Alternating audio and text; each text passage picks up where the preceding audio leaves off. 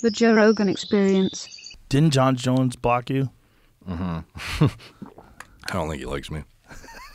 What did you uh, What did you do? Well, I guess it's just I've made a few videos just dissecting his case and giving my opinion on what I think he did, and I don't. He just doesn't like it, obviously, because it's just bringing up shit that is in his past that he doesn't want dug up. I guess.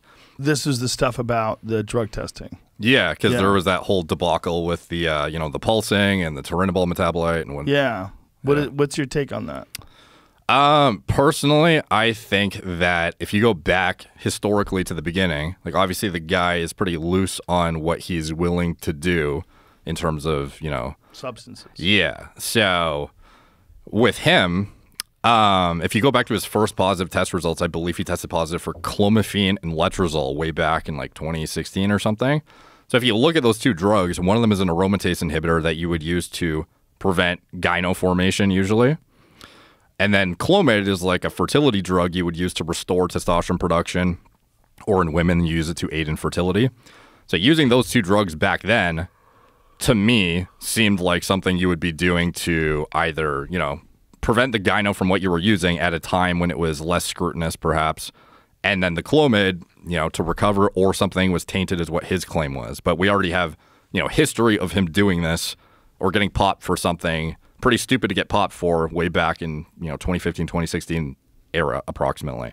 After that, he tests positive for Turinabol, and then thereafter the pulsing. But the thing that's interesting about that is when Novitzky talks about this pulsing M3 metabolite, he refers to well, it's not him. He's just reiterating the research, and it's ultimately they use this reference point of Clomid pulsing as a kind of a proxy to exemplify. Look, here's a drug that stores itself in fat tissue and pulses over time. So they use Clomid as an example of a because they can't just give a, a human a shit ton of Turinabol and like try and figure out if this is going to work or not. So they hmm. give them this fertility drug, or they've looked in the data and found parsed out this information about Clomid pulsing, and they use that as a reference point for like, look, there's a drug that can pulse over time. But the interesting thing is, Jon Jones literally popped for Clomid before, but he's never had that pulse. So he has this Turinabol that keeps pulsing, but the Clomid they use as the reference point of a drug that can pulse never pulsed for him. But didn't he say that the Clomid was from tainted food? Yeah, but he still got it in his system. So it's like Right. if you ingested Clomid, why is that not pulsing? If so that what causes something to pulse? Explain pulsing to people that don't know what we're talking about. like the idea would be that metabolites of these hormones, like first of all with Turinabol, after Icarus came out and like shortly around that, the Rodchenkov is the one who came up with the M3 metabolite test and like extended the detection window of Turinabol. And that's actually when I mentioned the Summer Olympics and how many people retroactively got their medal stripped or they got popped for the Summer Olympics for like 12 years in totality. A lot of those positive test results for were for Turinabol after they used Rodchenkov's data to like retroactively test the urine samples and see. They thought at the time it was undetectable because they got it out of their system based on the current detection windows. But then when Rodchenkov came out with his, he came out with his data, and when they went back and tested it using his assay, you could figure out, oh, past that date, they actually detected for that, you know, the longer term metabolites. Hmm. So the the idea between behind the pulsing is these metabolites that linger, they can store themselves in like fat tissue essentially, and they can like liberate themselves over time sporadically. Has that been proven or is that theoretical? Yeah, and it was proven in Clomid data, which is hmm. interesting because Jon Jones literally is pot for Clomid. But didn't pulse for that. Yeah. So But it hasn't been proven before with this stuff. no, with Turinabol, never. So, what's your take on that? Like I think personally, um, like the amount of Turinabol he had was so small. A lot of times, like for certain compounds like Turinabol, the only way you're gonna get it is like underground. Like you're gonna get it. It's not a pharmaceutical product that's designed for like a clinical application. So you're gonna get it designed by an underground lab who sells steroids to you know random bodybuilders or a chemist in you know China or something. And you're kind of just banking on the fact that it's not going to be tainted. They're going to use like clean equipment. It's going to be whatever drug you're hoping to get. And there are a lot of different scenarios that might, you know, explain it. And there's different theories like I could have that could hypothetically, either one could be true potentially. But I think one of the options is a drug he thought he was getting that was potentially undetectable was tainted with Turinabol. Hmm. or he thought he could get around the detection window by taking it, unaware of Rodchenkov's long term data that came out, or there's like a variety of different things that could be happening. But ultimately, for him, he got it in his system, and on paper, when you look at his testosterone levels and his ratios of testosterone to epitestosterone, like when he fought DC, they were so out of whack that it would not be explainable, in my opinion, by anything other than some sort of suppression of your system via the usage of something. So to me, Not not hard training because hard training does suppress it, right? yeah, but to the degree where he's literally like a female, probably not. So he Really?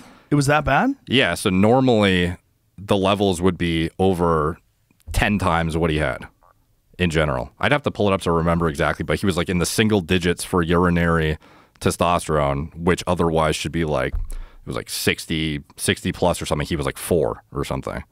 And it was multiple data points of his testosterone being single digits to a point that would indicate significant suppression in my opinion. What what could be another possible explanation for it, other than significant suppression? of the super low test Yeah. levels. Um, I don't know, castration. Really? uh, Is that bad?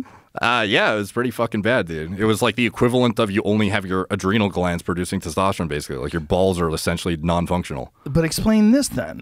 If that's the case, then how would he perf- perform well? Because if his if, if he's going into a fight with his testosterone that low, Because if you have a drug that's suppressing your system, the drug you're taking presumably is what is driving your performance vectors that you deem useful enough to use in competition.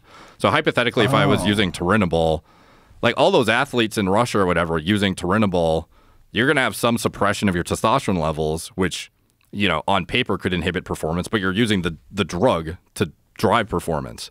So even though your endogenous levels are lower, you're relying on this compound you're using that you deem useful enough to dope with potentially.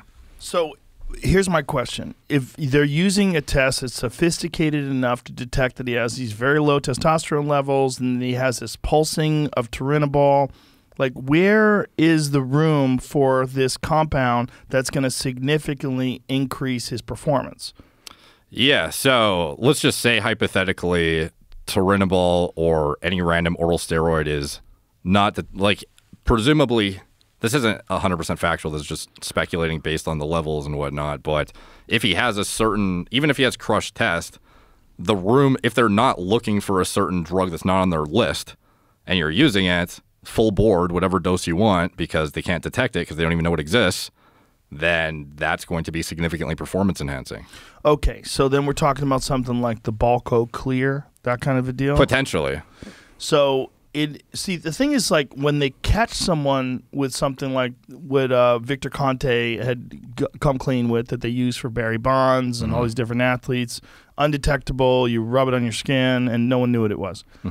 We think, oh well, they caught that guy. They're more sophisticated now. You can't get away with that now. Do you think it's possible there could be some new designer steroids or some new compound that's not on the list of things to be tested for because we don't even know it exists, but it, yet it is significantly enhancing performance, Uh, yeah. like like the clear. if you don't have an assay developed for it, detecting it is essential. You can't prove anything exists in the body if you don't have an assay to detect it. So even though you have this elaborate list of steroids that are known about, if you have a novel drug and you don't know how to, to, det- to detect it, even if you have other markers that look fucked up, like his testosterone levels in the gutter, there's no threshold amount where you pop because your test is in the gutter.